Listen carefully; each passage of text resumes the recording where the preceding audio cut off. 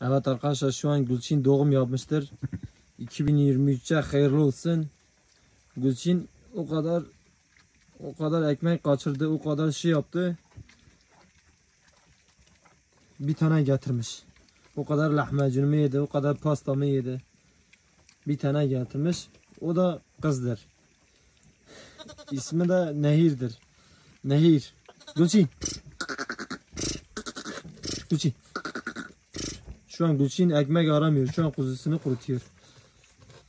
Bakın. Gülçin doğum yaptı. Şimdi kuzusu yavaş yavaş ayağa kalkacak. Gülçin. Gülçin. Ekmek getirir mi Gülçin size? O kadar lahmacun yedi, o kadar pasta yedi, o kadar benimo yedi. O kadar pop kek yedi. Bir tane mi getirdi?